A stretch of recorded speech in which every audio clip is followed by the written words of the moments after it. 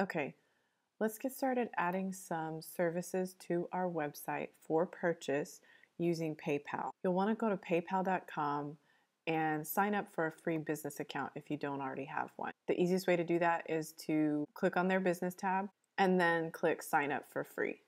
You only need the free account in order to do what we're about to do, so you would continue for zero per month. Once you have a PayPal account and you're logged in, you might either see the old PayPal screen or you might see the new PayPal for Business screen. Either one, we can still create the same types of payment buttons, so don't worry. Okay, let's get started. And don't judge me for my balance here, okay? This is a website I haven't really launched yet. So, anyway, if you're in the old PayPal screen, what you're gonna do is click on My Business Setup under the My Account tools here over on the right. You could optionally get there through merchant services, but we'll just click My Business Setup over here on the right. Now that we're here, it's giving us the popular ways to get paid. We want to select the one that says on your website because we're going to add some payment buttons. In another video, I'll show you how to set up an actual shopping cart using PayPal if you want people to be able to add multiple items. But for now, click Add a Payment button on, on your website. If you have the new PayPal, what you would do is log in and then go down to the tools and click business setup from here. You'll get the same screen, so you'll want to click add a payment button on the on your website tab. So now we're in the same place whether we have the old PayPal account or the new one. So let's get started.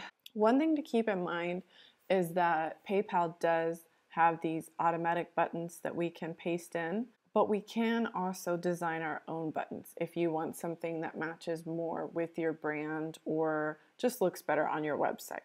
So there are a number of different types of buttons that you can do, whether it be the add to cart later when we set up a whole shopping cart, or if you're taking donations, you could do a donate button. If you're doing a subscription type service, you could do a subscribe button.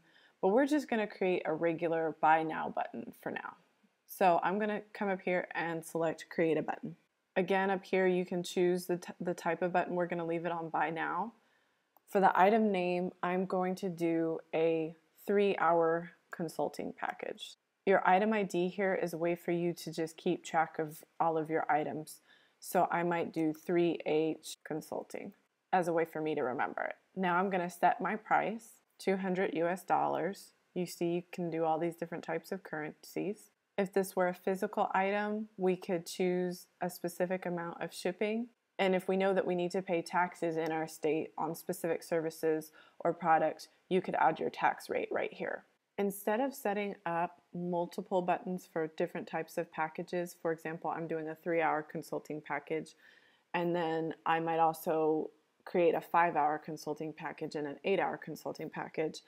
PayPal has a really interesting feature that allows you to add a drop down with price options. So I could just name this consulting package and I could have option one be three hours for 200, option two be five hour package for such and such price, and so on and so on. So that's one way for you to get everything all in one and then have this really unique drop down feature here on your website. However, I'm going to just create three separate buttons so you can get used to it and because your services may not be as related as mine are my different consulting packages okay? So we're leaving this as a three hour consulting package price the item id is up there. I'm not going to do any shipping because this will be delivered either in person or via something like facetime or google hangouts or skype. I'm not going to put in a tax rate since this is not a taxable service for me but you'll need to check in your city and state what your tax specifications are, then you can either choose to use your primary email address on this checkout screen or your secure merchant ID so that spammers don't have access to your email. That's basically the pur- purpose of that. Then you're going to want to expand step two, all right, and it gives us some really, really cool options here. First off, let's save the button because this makes it easier to recreate similar buttons in the future. Next, let's track inventory because let's say that in any given time period, I only want to sell a certain amount of this 3H consulting, which we know is the three hour consulting package. So for now, I'm going to say I only have 10 in stock and I want PayPal to alert me when I only have three left. You can choose whatever numbers you want here, but that's what the alert quantity is. Can customers buy this item when it's sold out? So I can either allow more customers to buy it as usual, or I can cut people off if I am sold out of a certain package. This is really good for those of you who are selling products and you only have a certain number of products on hand, okay?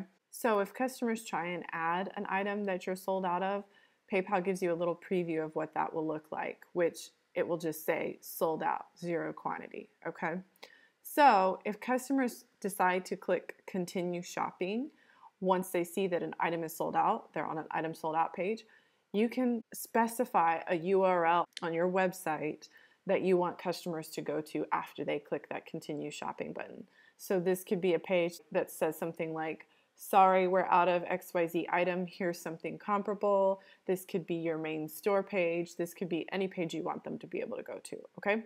I'm gonna leave this at yes, customers can buy the item as usual, okay? Now I'm gonna expand step three. Do I want my customer to be able to change order quantities? So, for those of you selling products or services that you think people might want multiple instances of, you can click yes, and that will allow some customer to, for example, buy my three hour consulting package, but actually purchase three of them at a time. Click no if you don't want that to be possible. Can your customer add special instructions in a message to you? Yes. If you select that, then this is the message they'll see. You can change it by typing in new text with this 40 character limit. So I'm just going to say, any questions for me? You can also click no if you don't want a customer to be able to send some type of special instructions to you. This might be a good place for you to ask for their preferred email address or something like that. But each PayPal payment is going to be connected to a customer's email address.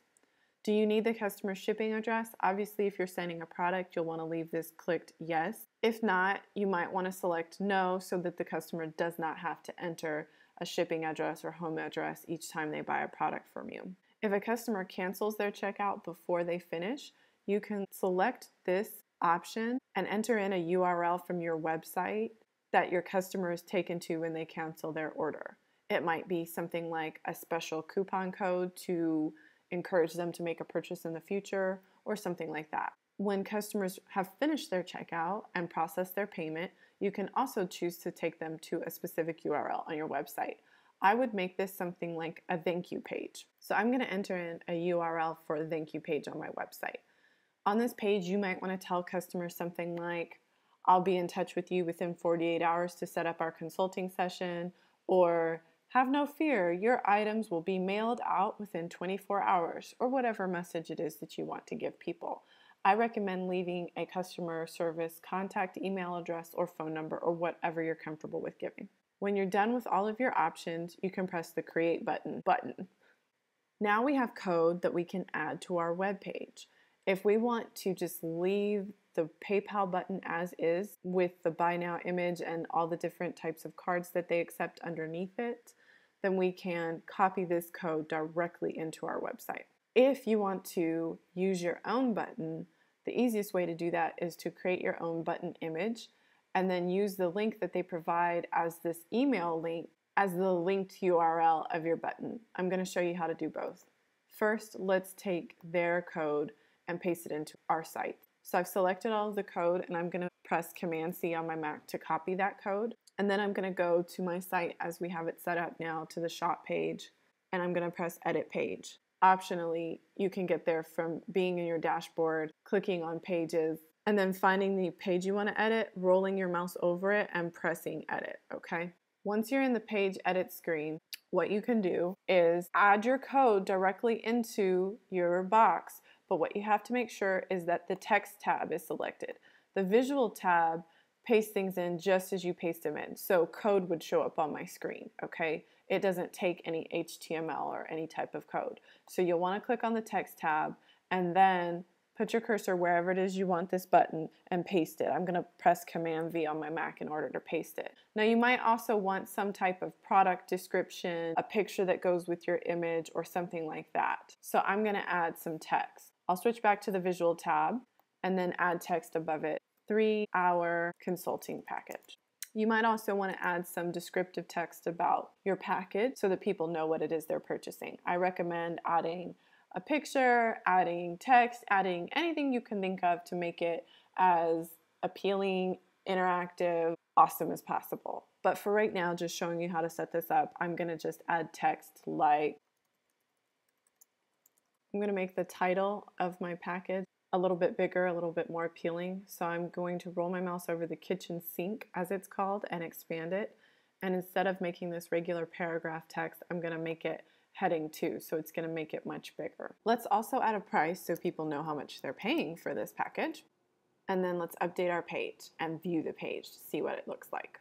Okay, so I'm going to press view page after I've updated it. And now we can see what our item looks like. Three hour consulting package, here's our price, here's our description, and then the buy now button. I just want to show you what would happen if a customer's on my site and clicks buy now. They'll be taken to a PayPal checkout page and they'll be able to see what they're about to buy, the three hour consulting package, the price, and they can either pay with their PayPal account or pay with a debit or credit card, which is a great option for you to accept debit and credit card payments from your customers uh, on your website, basically. So I'm going to hit back here and get back to our site. And what I want to show you really quickly is how we might customize this and make this look even better. Okay, so when you're on any page on your WordPress site, if you're logged in, you'll see this black or dark gray bar up here. You should be able to press edit page to get back to the edit screen. So what I'm gonna do is add an image to our item. So you'll do that by putting your cursor where you want the image and then pressing add media. Then you'll select upload files. Unless it's already stored in your media library, you can select it from there. Once you select upload files, you can press select files to get it from your computer. I'm going to use a cute little image I made really quickly. So you select it, press open. And what you'll want to do for SEO purposes is title this item and put some good alt text with this item as well to be as uh, helpful as possible. So let's see. We'll do a three hour consulting package for small businesses and bloggers as the title. This is not going to show up on the page. Uh, this just takes place in the code of your website. If you want text that shows up on the page, you can add a caption, and that will create a, an actual caption under your image. So for me, I am going to say that I want this either left, center, or right aligned or none. I'm going to leave it at none so it just places it in the page exactly where my cursor is but doesn't wrap text around it. You can either link it to the file itself or to a different URL. I'm going to select none. I don't want people to be able to click on the image and go anywhere for now. I'm going to show you how to change that. And then you can select what size you want it inserted at. So the original size you designed it at, which would be full size or medium or thumbnail. A thumbnail crops it to a square.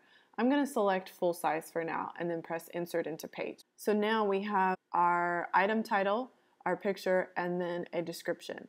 Lastly, if you wanted to change this buy now button to something that maybe matches the feel of your website a little bit, we're going to have to go back to the code. So I'm going to go to this text tab and then this place that we entered in the code for this button starts from the input to all the way down to this ending form tag.